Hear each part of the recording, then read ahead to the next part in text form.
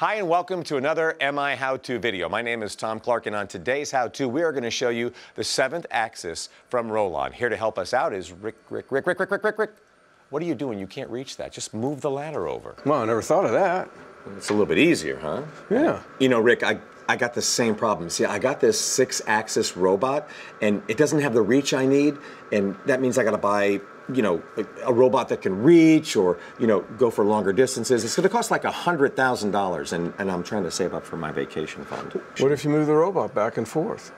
Just through some programming. Well, that's crazy talk, Rick. Actually, it's not so difficult. We lift the robot up, install right. the actuator below it, right. a few programming changes, some hardware, and the little robot covers the same as the big robot. So simple programming. I mean, what do you mean? Certainly, it's all supported by the robot manufacturer, but what we do, we get a smart guy. You, you, brought a smart guy, didn't you? I brought a smart guy. Who'd you bring? Chris. Hey, Chris. Hey, You're the smart guy. Yeah, that's me. Okay, so tell me about this. So you see the uh, manufacturers of these six-axis robots already have the platform for the seventh axis built in. So it's uh, no separate controller. Uh, it's all the same language. It's, it's pretty easy. So. All right, let's see it. Yeah, yeah. I want to see how this works. Oh, yeah. Oh, I'm liking this already.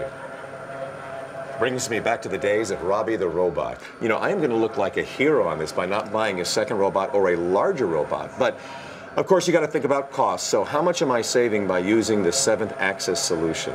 A typical six axis robot of this size will run you about $50,000 with a reach of 750 millimeters. Okay. To upside to a larger robot with a 1500 millimeter reach would probably cost you about 150,000.